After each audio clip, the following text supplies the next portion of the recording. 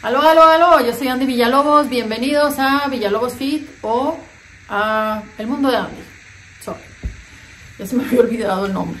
Ok, el día de hoy vamos a hablar sobre George Floyd, vamos a hablar sobre las protestas, disturbios aquí en Estados Unidos y la brutalidad policíaca. Les voy a contar qué fue lo que pasó, les voy a además dar mi opinión sobre todo y miren, yo entiendo que es hipócrita de mi parte hablar sobre los problemas de Estados Unidos cuando no me atrevo ni siquiera a hablar de los de México, pero les tengo que aceptar que me da culo hablar de los problemas de México en, estas plataformas.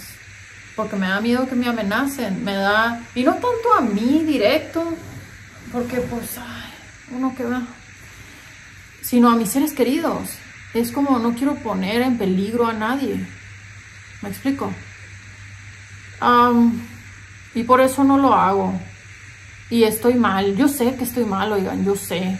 Pero traigo ese pinche chip donde es más seguro quedarte callado.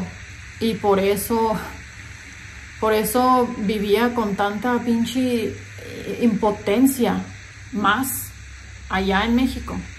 Pero esa soy yo nomás, no estoy diciendo que así sea para todos, no, no no, no, ok. Y se me hace más seguro hablar de lo que está pasando acá donde estoy viviendo que de mi propio país. Fabuloso.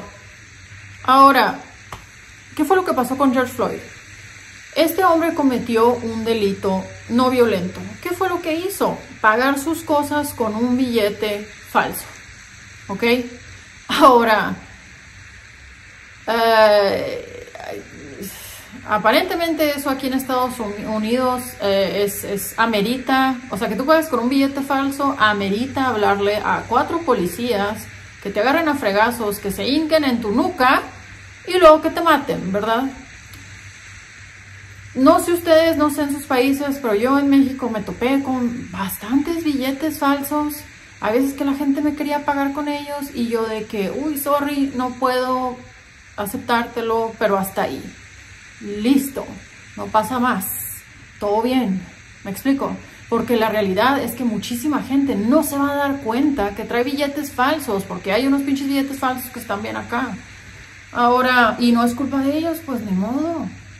Ahora, es, a este hombre lo arrestan y él, ah, y están los videos, yo no, no estoy inventando esta madre. Ahí están todos los pinches videos. A este hombre lo arrestan y él no es como que pone resistencia ni nada de eso. Lo arrestan así de que le ponen los, brazos para atrás y ahí va. Y ya que está arrestado, lo empiezan a agarrar a chingazos. Los policías. Acuérdense, cuatro. Cuatro. Para una sola persona que cometió un delito no violento, donde pagó sus cosas y iba un billete falso. Ajá. Ok. Bueno, lo empiezan a agarrar a chingazos. Luego después de ahí todavía lo bajan de la camioneta, porque lo habían subido a la camioneta, por supuesto, para agarrarlo a chingazos, ¿no? Lo bajan de la camioneta, lo tiran al piso, recuerden, trae, pónganse en el lugar de George Floyd, ¿ok? Trae las manos esposadas detrás. Ahí ya no puede hacer nada. Nada puedes hacer, ¿ok? Lo tiran al piso, o sea, boca abajo. Y luego tiran la cabeza así y está un güey como que agarrándolo de las piernas, otro güey como que más en medio y luego está el imbécil que directo lo mató con la rodilla puesta en el cuello. Y acuérdense, tiene el cuello así, torcido. Y eso duró 7 minutos, 8 minutos, 2, 3 ahí. Pónganme si ustedes saben exactamente cuánto duró. Entonces, imagínense ustedes están boca abajo, esposados, esposadas, y un güey le tiene todo el peso, todo el peso, en una de, eh, todo el peso corporal puesto en el cuello por medio de la rodilla, así.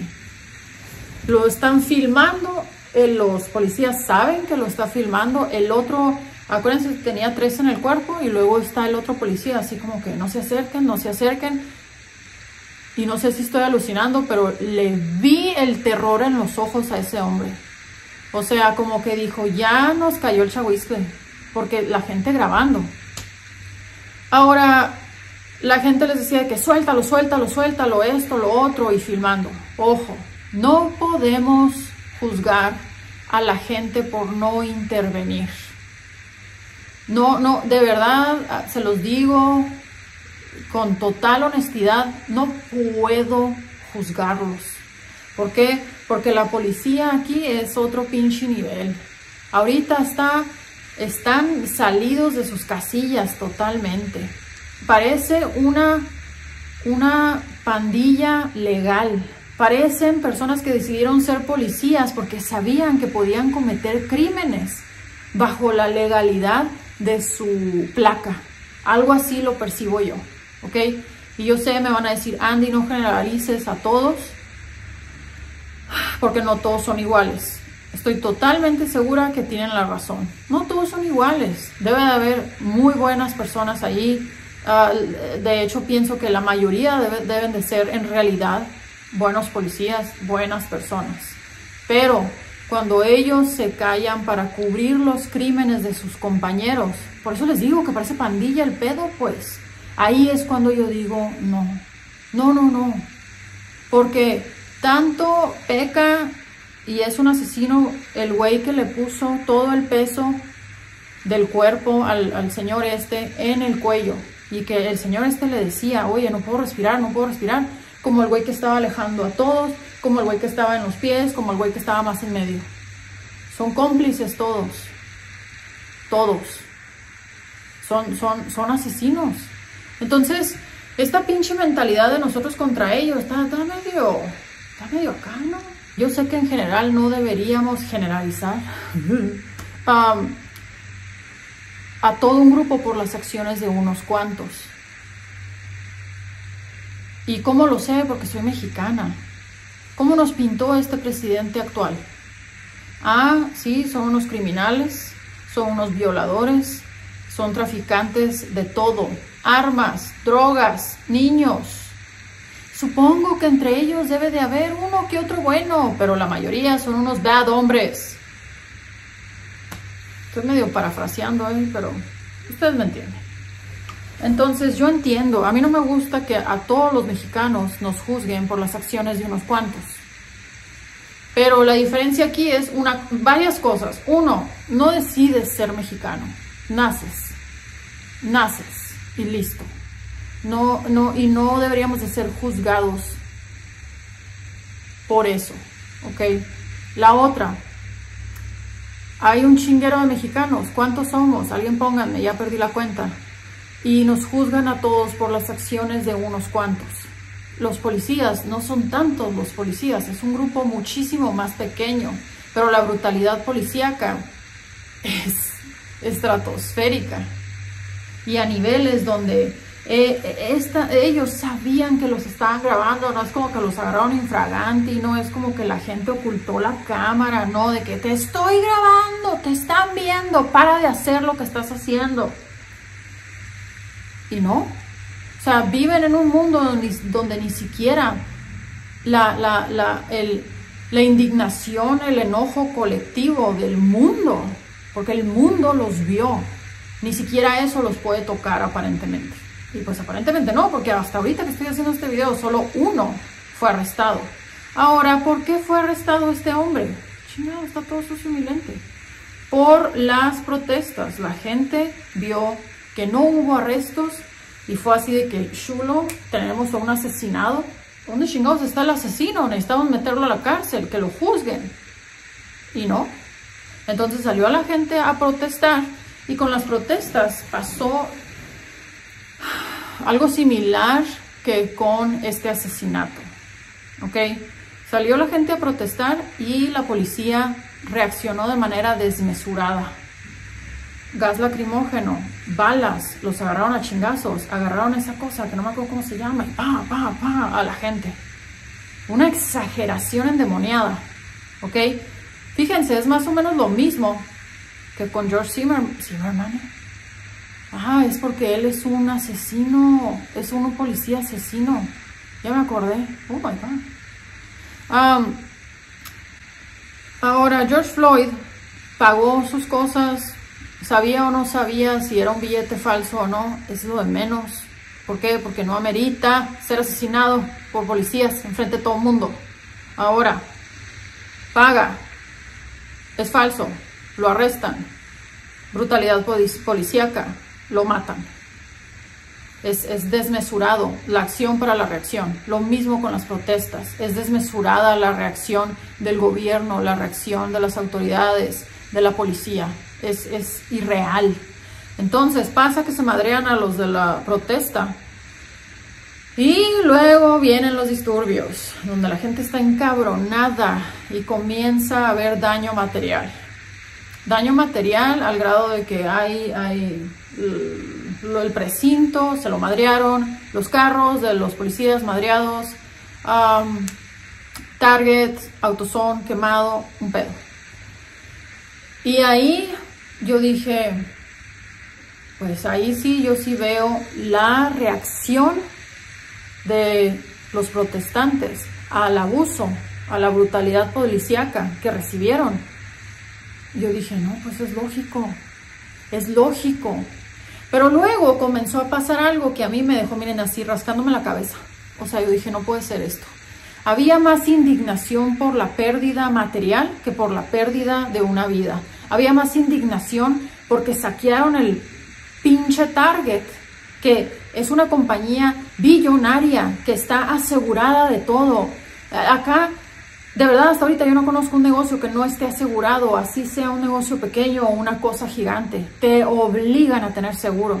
Pero bueno, estaban más indignados por eso, porque ya no iban a poder ir al pinche Target de ahí, que porque un policía se hincó en el cuello de alguien por siete minutos y lo mató. Ahí es donde yo no termino de conectar, oiga, no termino. Y luego, luego empezaron en inglés y en español. Esas no son las formas. ¿Cuáles son las formas entonces? ¿Qué es lo correcto cuando la policía se cree tan intocable que anda matando a la gente? Y sin nada. Así, mira, lavándose las manos. Ay, es que se asustó el policía. Ay, es que tú no sabes la presión que es ser policía. Tú no, no, no podrías. Ay, pues si crees que puedes hacer un mejor trabajo, ponte tú en lugar de ellos. No, no y no. Si ellos deciden ser policías, necesitamos juzgarlos de una manera mucho más intensa que un ciudadano normal. ¿Por qué? Porque tienen más poder que un ciudadano normal y por lo tanto deberían ser más vigilados que un ciudadano común y corriente. Así de fácil. Otro, ellos escogieron ese pinche camino. Si no, si no van a poder reaccionar bien a situaciones de pánico total, ¿por qué están ahí? Ah, porque muchos de ellos se creen muy chingoncitos, muy chingoncitos, porque pueden hacer crímenes de manera legal, etc. Y todo bien.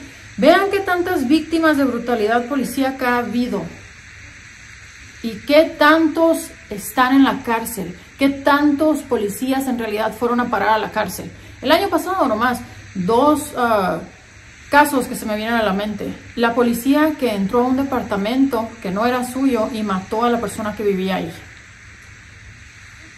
Anda libre ella, libre como la Elsa. Uh, la, la otra, una muchacha de 28 años que estaba cuidando a su sobrino de 6. El sobrino estaba jugando videojuegos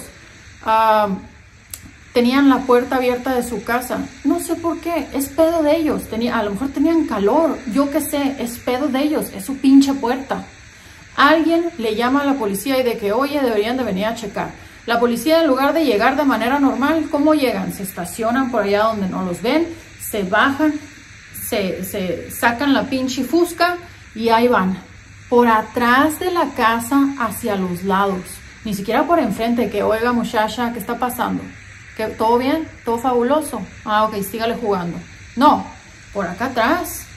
Y luego ven a esta persona que está, así se ve como que en la ventana, y gritan sus instrucciones, ¿no? Desenfuscados ahí, gritan sus instrucciones. La muchacha está dentro de su casa con su sobrino que está jugando videojuegos. No escucha. Le dan cuatro segundos para reaccionar, tiran a matar. Y esa es otra. ¿Qué pedo con estos policías que no saben no tirar a matar? Y ya sé, puede que haya gente que me diga, ay, pues sí, verás, se nota que nunca has agarrado un arma. Pinche Spanishers, cálmense a la chingada. Si un policía no puede apuntarle a alguna parte del cuerpo que no sea matar, no debería ser policía. ¿Por qué chingados le estamos dando ese poder a esa persona que no, no es élite, que no está estudiada, que no está entrenada? ¿Por qué le estamos dando ese poder? ¿Me explico? Entonces, no sé, miren, me está dando calor a la vez.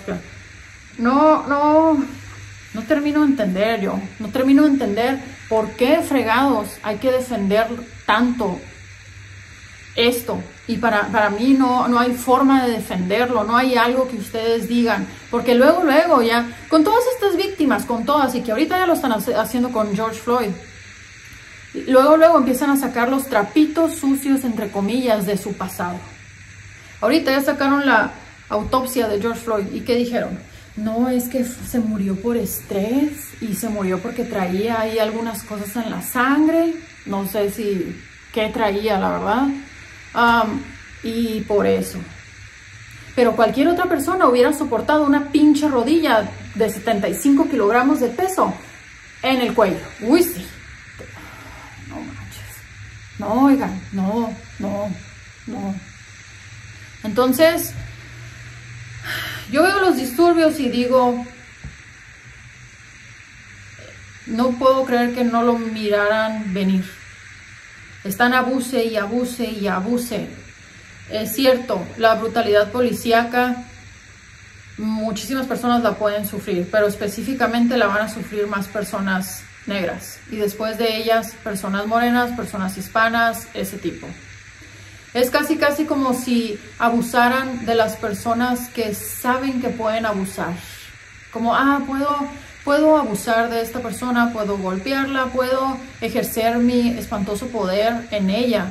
Y no va a pasar nada porque pues es minoría, o no va a pasar nada porque es una persona negra, o no va a pasar nada porque es un migrante ilegal y prefiere callarse el hocico. O a lo mejor es legal y no quiere que esto esté en su récord, porque a la próxima que vaya a renovar visa va a salir. Entonces es demasiado pinche poder esto y es increíble para mí, o sea, los vi y como iban armados hasta los pinches dientes, yo así de que no, no. Y vean todos los videos de brutalidad policíaca que están ahorita en Twitter, en las protestas es uno tras otro, tras otro. No sé si vieron a esta pareja y ellos iban en su carro, así en su carro, a lo mejor les tocó por ahí en medio la, protesta. Los bajaron de su carro, escuchen los gritos de la muchacha. Se me, se me hizo la piel y se me revolvió un poquito el estómago. Y si no terminan de entender, hay que ponernos en el lugar de ellos. Imagínate que tú eres George Floyd y que a ti te hacen eso, te golpean, te esposan, te tiran al piso, se ponen encima de ti, en tu cuello, con todo el peso de su cuerpo. Estás rogándoles, estás diciéndoles, no puedo respirar. Y la persona que se supone que está ahí para protegerte es la que te está asesinando.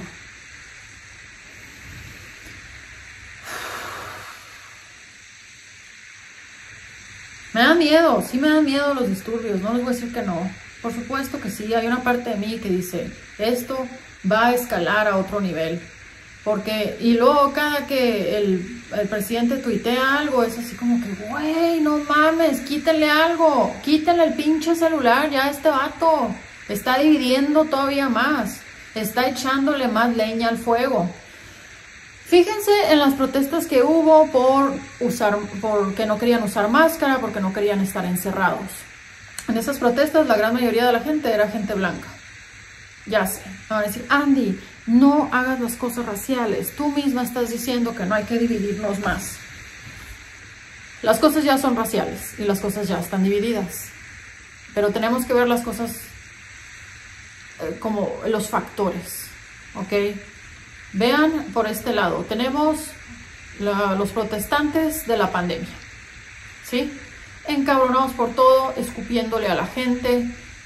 Hay videos donde literal empujan a los policías, nada les pasa, entran a distintos, uh, edificios de gobierno con unas pinches fuscas, así con unas pistolas, armas, no sé qué serán de este tamaño, y entran encapuchados y la madre.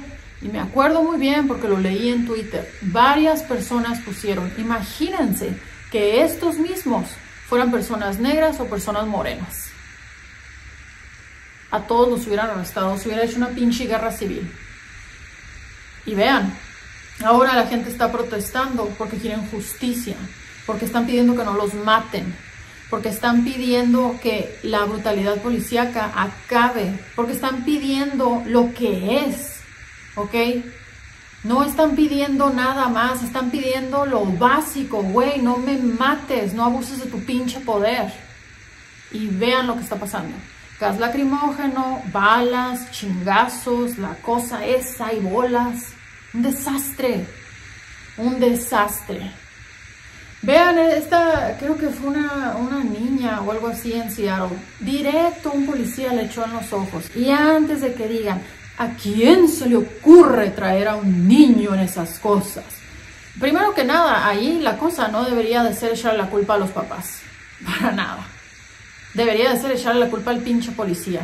Porque se supone que las protestas iban a ser totalmente pacíficas, pero luego entró la policía haciendo de que soy muy fuerte, nadie puede conmigo y además tengo miedo, tengo un chingo de pánico, voy a abusar más de mi poder. Eso deberían de cuestionar, no a los papás que llevan a sus hijos a estas protestas.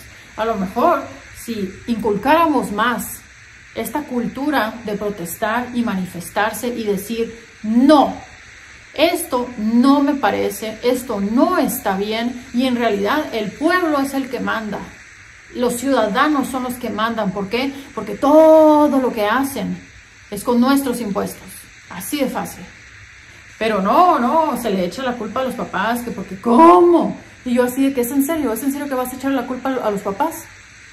Porque la policía le echó gas pimienta en los ojos a la niña, en lugar de decir, pendejo ese policía, que lo corran.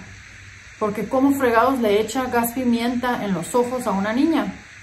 Y miren, esto no es algo extraordinario. Este abuso de poder no es extraordinario y no es solo con hombres negros adultos. Es con niños, es con adolescentes, es con niñas, es con mujeres embarazadas, es con mujeres que tienen enseguida su bebé y de todos modos le disparan y luego el bebé queda todo chapoteado de sangre, etc. Entonces, créanme que yo lo sé, es muy fácil distanciarse y decir, no, es que si yo no me meto en eso, quiere decir que estoy mágicamente protegido. ¿Cómo vivimos en, en México? Cuando le pasa algo a alguien, Ah, no, es que estaba en lugar equivocado, momento equivocado. Ay, es que de seguro andaba en malos pasos. Nomás a los que andan en malos pasos les pasa algo. Por Dios, por Dios. No puede ser que se siga creyendo eso y sin embargo es una creencia ferviente, así es. Es como, si creo esto, nada me va a pasar. Y quiere decir que como yo soy buena persona, nada me va a pasar. Y como yo no ando en malos pasos, nada me va a pasar. Es como esa tontería de cuando violan a una mujer, luego lo preguntan qué traía puesto, porque según ellos, que si traes pantalón no te va a pasar nada, ¿verdad? Porque el pantalón es una seguridad, es un escudo. Tonterías, creencias de gente pendeja, como dijo la señora aquella. Entonces, esto es, oigan, no sé, no sé qué opinan ustedes. Yo siento que mucha gente anda igual. Es, es una combinación de impotencia, hartazgo, tristeza, enojo. ¿Ok? Porque no puede ser que sigan pasando estas pinches cosas, no puede ser que la policía esté tan bruta y tenga tanto poder. Y yo sé, no todos son iguales, pero si se están encubriendo los delitos, los pecados, pues sí son iguales, oigan. Eh, y yo sé, va a haber gente aquí que me diga, se nota que no sabes lo que es el policía, no sabes esto, no sabes lo pues no, no sé, no, yo decidí no ser policía, no, no nací para eso, no nací para defender a otra gente, no nací para tener una placa y va, va, va. Entonces, igual eso no va a cambiar mi punto de vista. Creo que a las autoridades, a los policías, no se les debería de aplaudir por hacer lo mínimo. Y no se les debería de dar tantísimo poder de esta manera donde se crean superiores a nosotros y hagan crimen de manera legal, que cometan crímenes de manera legal. Y francamente vean, vean, a los policías normalmente los ponen ahí arriba junto con bomberos, junto con um, personas de la milicia, etc. Vamos a más o menos comparar esos tres. Para ser bombero, la neta tienes que nacer. No cualquiera dice, voy a entrar a un lugar en llamas a rescatar gente que no conozco. No, tienes que tener el corazón para hacerlo. Y la otra es que los entrenan brutalmente. No sé en sus países, pero en este los entrenan brutalmente. Y tienen que saber reaccionar cuando están en pánico total y absoluto y que eso no los domine. Esa madre es otro pedo, oigan. Por, también porque creen que no hay tanto bombero. Ahora, personas de la milicia, ojo, no quiero que piensen que, ah, es que Villalobos Fita apoya la guerra. No, no mamen, por supuesto que no. Pero es para comparar el tipo de entrenamiento. En la milicia no cualquier persona entra. ¿Por qué? Porque le estás dando una chingada arma a esta persona. Le estás dando casi, casi eh, el, poder de matar legalmente. Y los tienen que pasar prueba tras prueba tras prueba para saber que la posibilidad de que se aloquen y hagan un desastre o no exista o sea mínima. No sé si en realidad puede ser que no exista, pero alguien que sepa más de esto, póngalo ahí abajo. Y por eso no mucha gente puede entrar a la milicia. Y por eso son tan así de que, ah, te voy a hacer prueba tras prueba tras prueba tras prueba. Y luego te voy a poner en um, escenarios de total y absoluto estrés y vas a tener que pensar y vas a tener que reaccionar con calma y vas a tener que hacer esto y esto otro y esto otro. Y te voy a gritar que eres una basura, que eres acá, que eres allá y te voy a denigrar por completo para saber que no vas a reaccionar y que puedes seguir reglas a pesar de recibir todo eso que a lo mejor es abuso. No estoy totalmente segura. ¿Me explico? Pero para ser policía, ah, sí, van a una academia y listo. Y aparentemente no son tan buenas las academias y les aplaudimos por lo mínimo y les, les son, no, les como encubrir, no, no son, les justificamos. Ay, no, es que pues se asustó, se asustó de la muchacha que iba en su carro con su bebé, porque la muchacha hizo un movimiento repentino. Y aún así tiene placa y tiene arma. Y se asusta con tan poquito. Sorry.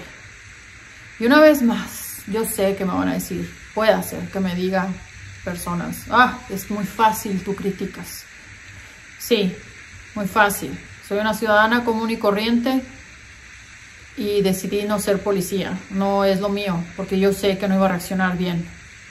Estas personas, si saben que no van a reaccionar bien, si ya han cometido una tarugada tras otra, como el güey de la rodilla que mató a George Floyd, 18, 18 quejas contra él ese hombre ya no debería de andar entre la población en general con una placa y una pistola. 18 quejas, 18 abusos de poder. El asiático como 6, 8, no me acuerdo, y los otros dos no tengo la menor idea. Entonces, para mí no es justificable, no es justificable decir, es que son seres humanos, es que son igual que cualquier otra persona. Si van a reaccionar igual que cualquier otra persona, simplemente deberían de pertenecer a la población en general y no a este grupo de personas élite que se supone que están aquí para protegernos. Así de fácil. Y a lo mejor piensan que soy demasiado dura y pues ni modo. Todo bien. Y miren, en otro tiempo de mi vida yo no hubiera entendido las protestas, no hubiera entendido las manifestaciones. Hubiera dicho, ¿y esto qué? ¿De qué ayuda? ¿ok? Pero este año, el caso de Fátima, Fátima, la niña de 7 años que secuestraron, violaron, torturaron, mataron, echaron una bolsa de plástico y la tiraron cerca de esa escuela donde la secuestraron. E- ese caso cambió algo en mí, yo creo que para siempre. Ese caso fue un chingado switch. Así fue como... Y todo cambió dentro de mí. ¿Por qué? Y, y me, da, me da hasta a lo mejor vergüenza admitir que algo tan atroz, un pecado que va en contra de absolutamente todo, ¿ok? Eso fue lo que me hizo cambiar. Porque con ese caso, más mujeres empezaron a manifestarse y no les hicieron caso y pasó lo mismo.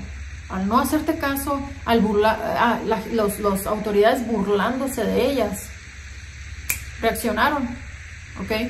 Y pasaron a disturbios, a cosas quebradas, grafiti en monumentos, en esto, en lo otro, desmadre, violencia, como la quieran ver. Y ahí, con eso, hubo más gente indignada por la pérdida material, por el graffiti, por los vidrios rotos, que por las víctimas. Hubo más, dense cuenta de lo que estoy diciendo, hubo más gente indignada porque rayonaron un pinche monumento meco. Que ojo, es un pinche monumento, son piedras, es algo material. Que por una niña que fue secuestrada, violada, torturada, y no nomás eso, después la mataron y después de eso todavía, para crear más dolor, la tiraron dentro de bolsas de basura como si fuera nada. Oigan, no se puede. Y ahí fue cuando yo dije, no, como sociedad estamos mal. Estamos mal que nos importe más una puta pared que la víctima.